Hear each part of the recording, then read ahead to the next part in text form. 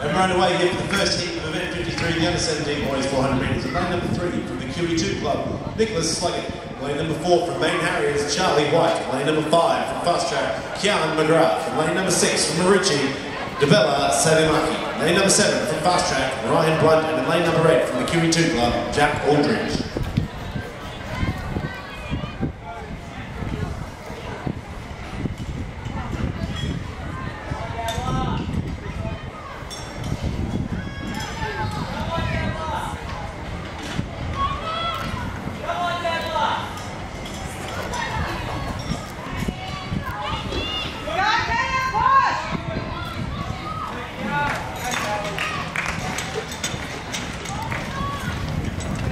And as they're coming through